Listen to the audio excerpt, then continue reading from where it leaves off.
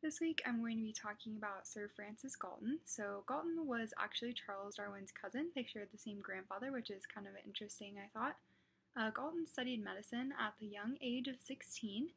Um, he then went on to obtain his degree from Cambridge University in 1843.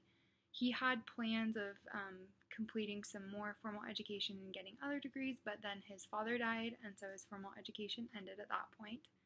Uh, Galton was quite wealthy individually, so he basically had the freedom to do what he wanted when he wanted. He could study whatever he wanted.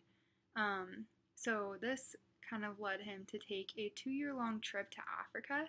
While he was there, he made maps of different unexplored territories in Africa, and then he kind of just realized that he had a passion for measuring things.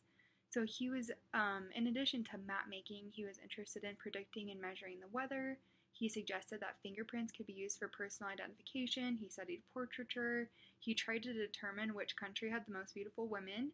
Uh, he measured degrees of boredom at different scientific lectures, and then he also tried to determine the effectiveness of prayer. He found that it was ineffective, and so when Charles Darwin's theory of evolution came around, he was actually quite pleased with that and definitely agreed with that.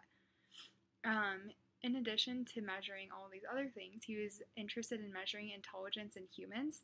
So, this um, interest kind of led to his theory of eugenics, um, which is using selective breeding of individuals to increase the overall intelligence of the population.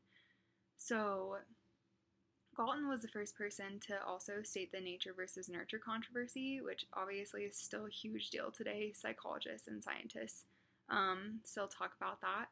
He's one of the scientists that made twin studies very popular to study the nature versus nurture controversy. He was also the first person to devise a word association test.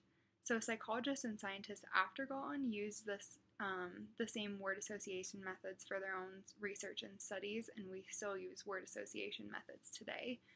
Um, his work with word association kind of led the way for studies about memory and cognition as well.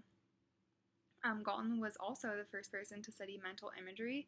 He found that people showed differences in their ability to form mental images, and people um, thought that other people had the same ability to form images as they did.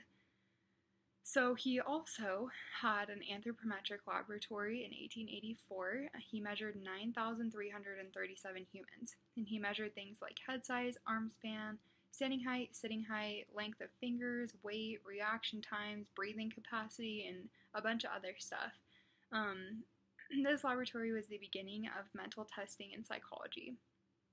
So in 1888, he set up another laboratory that was very similar to the first one, except for this time he charged a small fee uh, to people so they could be measured, and then they were given a copy of their results that they could keep for their own records.